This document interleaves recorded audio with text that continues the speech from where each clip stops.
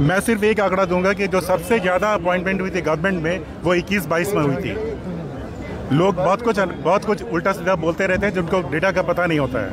दूसरा जो self employment है 2022-23 और 2021-22 में तीन तीन लाख दिए गए थे, यानी छः लाख सेल्फ एम्प्लॉयमेंट ये नंबर्स अपनी जगह हैं बैंक से आप ले सकते हैं। आज से चार साल पहले चालीस हज़ार यही नंबर हुआ करता था। तो कहाँ चालीस हज़ार, कहाँ तीन लाख एक साल में? कोई कंपैरिजन थोड़ी है। अगली डेटा जब मौसमी की आएगी, जो बाईस तेईस की डेटा आएगी तो पहले ये 5.2 हुआ करता था all age group specific age group की बात नहीं कर रहा हूँ मैं।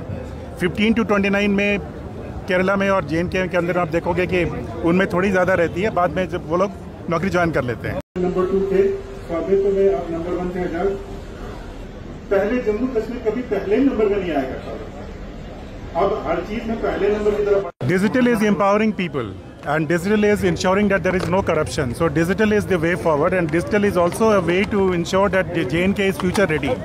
So Srinagar में जो डेवलपमेंट आप लोग देख रहे हो we are making Srinagar digital ready and future ready एक लास्ट चीज़ मैं बोलना चाहूँगा कि श्रीनगर में जो लोग रहते हैं, आप जो लोग यहीं, आप लोग रहते हो, आज कल पोलो व्यू आया, फिर अभी लाल चौक का इम्प्रूवमेंट हुआ, डल का इम्प्रूवमेंट हुआ श्रीनगर मेरे हिसाब से इससे बेहतर कभी नहीं रहा है।